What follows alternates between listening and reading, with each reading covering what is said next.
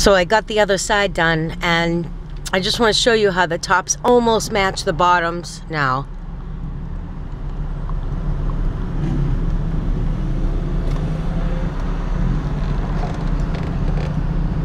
Can you see?